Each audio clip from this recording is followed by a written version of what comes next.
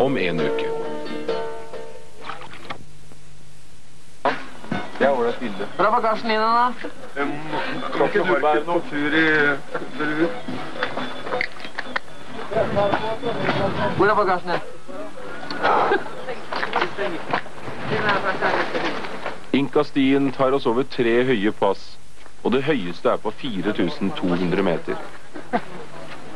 When you start the trail, you start the trail in an area which is the dry side of the mountain. So all the vegetation will correspond to the dry side of the mountain.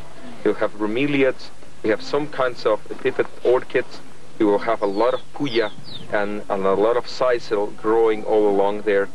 And, uh, and lots of different cacti. The most beautiful ones are those big spores that we saw that are, that are called trichoceras.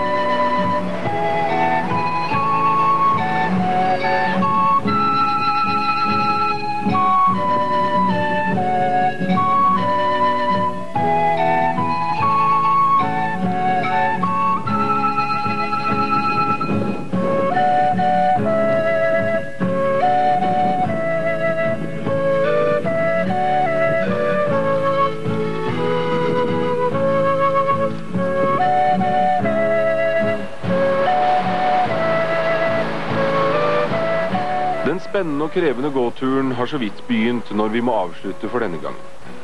Vi fortsetter på vår vei mot inkanes hemmelige borg, Machu Picchu. Besøker Cusco og reiser videre mot Bolivia neste uke.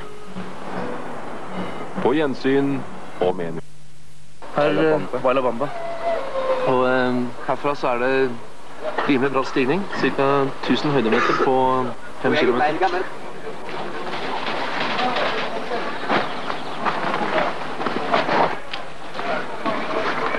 Good morning. This section recommended is to everybody keep a regular speed, no going fast and no going so really slow. Because you have to think the people who has the fastest speed, they have to think there are people coming in at the last, you know, very slow. And uh, from the top after the lunch today, we're gonna go down to 3,500. From them we're going up again, right toward to the second pass, and we're gonna camp halfway going to the second pass located at 3,800 meters in the ruins called Runcurakai, next to the ruins Runcurakai. And people who doesn't really feel well, recommended to do in the next section, there are horses. That's possible to arrange it here. And people who is perhaps the packs that they carry in is heavier, it's possible, you know, to get, you know, extra carriers that they can take from here, get to the top of the packs. So in either cases, horse or packs, for getting easier, you know, to you walk into that to get to the top, tell me, you know, for coordinate that things.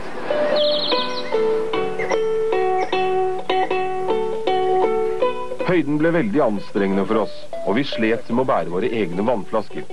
Vi kom ikke unna av å hyre inn en flokk lokale bærere, som har et helt annet forhold til denne høyden enn oss vikinger.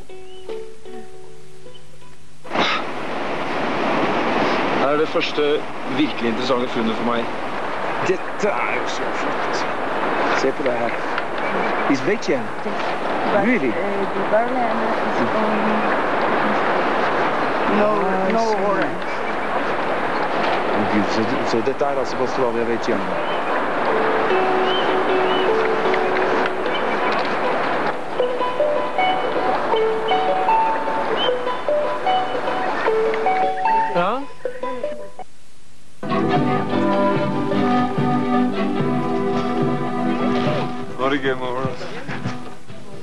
Sliten?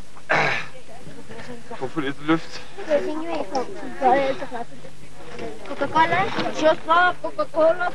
Hei. Hei sann. Hvor har du vært? Hæ? Hvor har du vært? Tynt på luft. Men eh, fine planter. Men jeg er glad jeg ikke har sett noe de siste kilometerne. Altså. Jeg tror ikke jeg hadde orka å plukke inn. Hei. Og i nesten 4000 meters høyde slår vi leir for i dag. Det var kaldt og fuktig, men ikke for kaldt for en forestilling. En turgåer av mange nasjonaliteter satt og lyttet på Morten fremføre en låt av den så etter hvert berømte urgamle og småfalske gitaren. let it go, babe. Just let it go. Stimulate path ahead.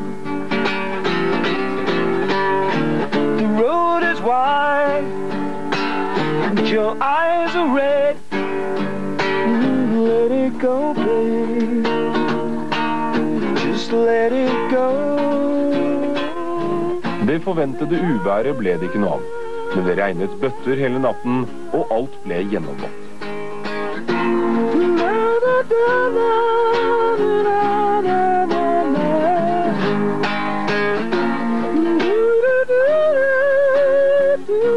Ulf synes ikke det var nok morgendugg i gresset, og la til noen liter. Men det spiller vel ingen rolle med litt til eller fra.